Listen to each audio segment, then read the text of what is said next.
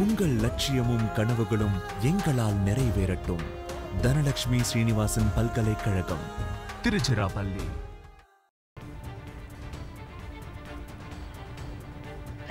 பாஜகவினருக்கு முதலமைச்சர் மு ஸ்டாலின் எச்சரிக்கை விடுத்துள்ளார். அமைச்சர் பழனிவேல் தியாகராஜன் கார் மீது காலனி வீசப்பட்டதற்கு முதலமைச்சர் மு ஸ்டாலின் கடும் கண்டனம் தெரிவித்துள்ளார். இதை பற்றிய கூடுதல் விவரங்களை எமது பொறுப்பாசிரியர் தம்பிராஜாவிடம் கேட்கலாம். வணக்கம் சார். உங்களுடைய விவரங்களை பதிவு செய்யுங்கள். நாட்டினுடைய எழுபத்தைந்தாவது சுதந்திர தினம் நாளை கொண்டாடப்பட இருக்கிறது அதனை ஒட்டி முதலமைச்சர் மு ஸ்டாலின் விடுத்துள்ள அறிக்கையில் மூவண்ண கொடியை போற்றுவோம் மூட அரசியல் தனத்தை அடக்குவோம் என்று அவர் தெளிவுபட தெரிவித்திருக்கிறார். கலைஞரின் அன்பு உடன்பிறப்புகளுக்கு அவர் எழுதியுள்ள மடலில் இதற்கான ஒரு முக்கியமான எச்சரிக்கையை அவர் விடுத்திருக்கிறார். இந்திய ஒன்றியத்தின் எழுபத்தி ஆறாவது விடுதலை நாள் விழா உணர்வில் கலந்த கொண்டாட்டமாக நாடு முழுவதும் கடைபிடிக்கப்படுகிறது. தமிழ்நாடு அரசின் தலைமைச் செயலகமான சென்னை சேஞ்சாஜி கோட்டையில் நாட்டின் கொடியை நான் உயர்த்த இருக்கிறேன் என்றெல்லாம் அதிலே அவர் குறிப்பிட்டிருக்கிறார். இந்திய ராணுவத்தில் பணியாற்றி ஜம்மு காஷ்மீரில் நடந்த தீவிரவாதிகள் தாக்குதலை எதிர்கொண்டு வீர மரணம் அடைந்த தமிழ்நாட்டின் மதுரையைச் சேர்ந்த வீரர் லட்சுமணன் அவர்களின் மறைவுக்கு முதலமைச்சர் என்ற முறையில் என்னுடைய இரங்கலை தெரிவித்ததுடன் ராணுவ வீரரின் உடலுக்கு செலுத்தப்பட வேண்டிய அரசின் மரபார்ந்த மரியாதையை செலுத்திடுமாறு நிதியமைச்சர் முனைவர் பிடிஆர் பழனிவேல் தியாகராசன் அவர்களை பணித்திருந்தேன். அமைச்சர் அவர்கள் அந்த வீரமகனை இழந்த குடும்பத்தினரை நேரில் சந்தித்து ஆறுதல் தெரிவித்ததுடன் மதுரை விமான நிலையத்திற்கு கொண்டு வரப்பட்ட ராணுவ வீரர் லட்சுமணனின் உடலுக்கு தமிழ்நாடு அரசு சார்பில் மலர் வளையம் வைத்து வீர வணக்கம் செலுத்தினார்.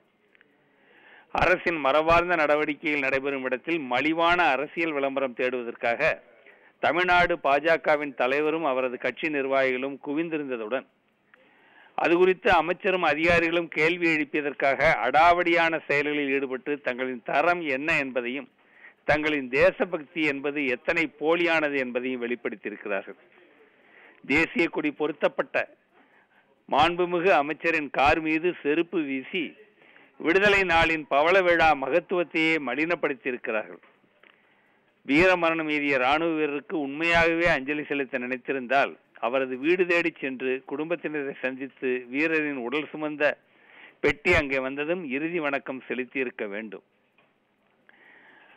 சட்ட விதிகளுக்கு புறம்பாக அரசியல் லாபம் தேடலாம் என்ற கணக்குடன் சட்ட ஒழுங்கை சீர்குலைக்க முயன்று தேசிய கொடியை அவமதித்திருக்கிறார்கள்.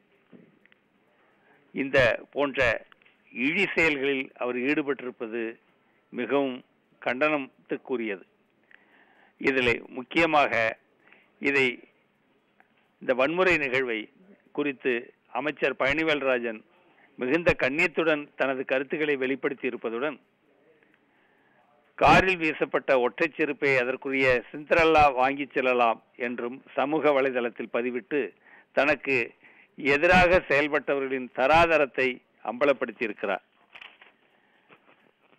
திமுக ஒரு ஜனநாயக இயக்கம். அறவழியில் தான் அது பல நெருக்கடிகளை எதிர்கொண்டு வென்றிருக்கிறது. ஆறாவது முறையாக ஆட்சி பொறுப்பில் உள்ள நிலையில் அந்த பொறுப்பினை உணர்ந்து தமிழ்நாட்டின் அமைதிக்கு சிறு குந்தகமும் ஏற்பட்டுவிடக்கூடாது என்ற கவனத்துடன் ஆட்சியும் கழகமும் செயல்பட்டு வருகிறது.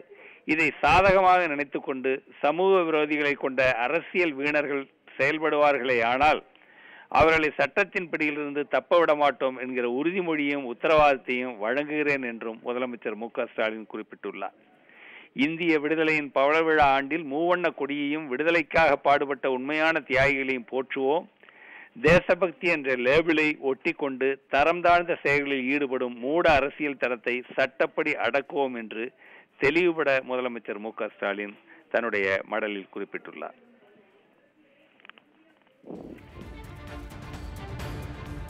கூடுதல் விவரங்களை வழங்கியதற்காக நன்றி சார்.